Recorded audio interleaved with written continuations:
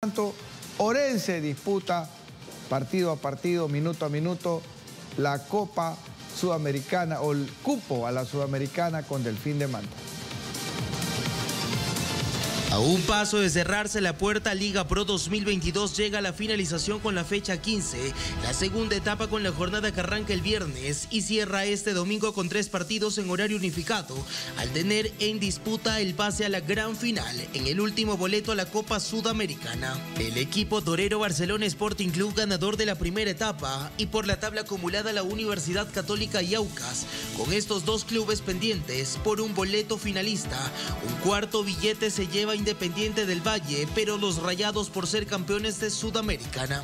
La jornada arranca a las 19 horas en el estadio Alejandro Serrano Aguilar, y con el juego de Deportivo Cuenca clasificado a la Sudamericana y Muchurruna, que solo va por completar el calendario.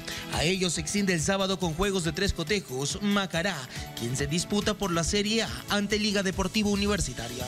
Los rayados se enfrentan con Gualaceo. El equipo oriental llega con una ventaja de tres puntos en la tabla de posiciones y un gol promedio. El último pase a la Sudamericana se disputan Orense y Delfín.